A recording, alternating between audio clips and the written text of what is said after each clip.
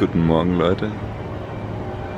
Es ist hier gerade der erste Morgen in Sri Lanka.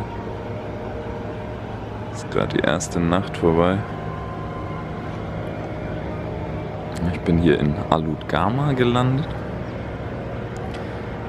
Schöner kleiner Ort. Und der Strand ist hier echt super schön. Also hier ist jetzt so ein kleiner Süßwasserfluss zwischendrin, aber dahinter ist dann eine Meerstreifen. Läuft man auch nicht lange hin. Ist echt schön. Aber ich schlafe mich jetzt erstmal aus. Ich bin gestern Nacht um 3 Uhr angekommen. Genau.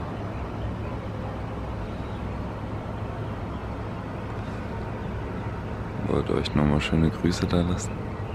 Sagen, dass ich gut angekommen bin.